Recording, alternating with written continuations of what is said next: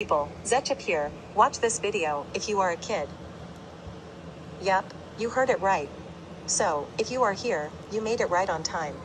In this video, I have a challenge for you to complete. It might be really very difficult. I am sure that 89% of the people will lose this challenge. Rules, skipping the video, speeding up the video, and leaving the video is equals you automatically failed. So, are you ready for the challenge?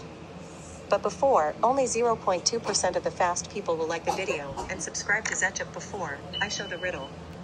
In 3, 2, 1. Let's start the challenge. Okay, level 1. Find the odd emoji in this picture in 5 seconds.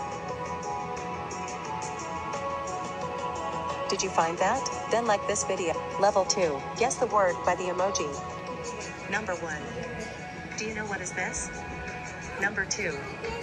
Have you completed this level? Tell me in the comments. Level 3. I challenge you to find 3 hidden hearts in this video, and if you find them, then tell me their colors in comment section. I love you.